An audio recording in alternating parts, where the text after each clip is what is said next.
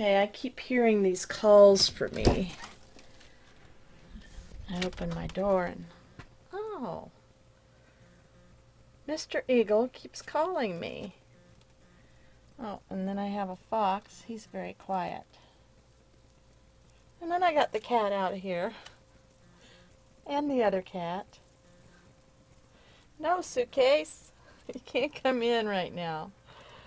No. Well, you want to come in the house too? No. Little fox. No. You want to come in the house and warm up?